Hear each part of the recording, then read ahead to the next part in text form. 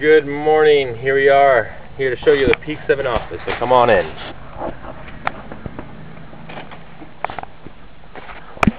Go up the stairs. Take a look at the cool pictures on the wall on your way up. Entering the beautiful cubicles. Who was that work? Matt? Matt, what are you doing today? Today, I'm uh, making some phone calls, trying to book some trips.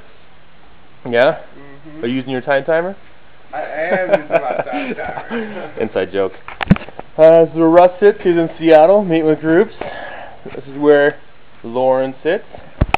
And this is me. So, thanks for joining us. Take care.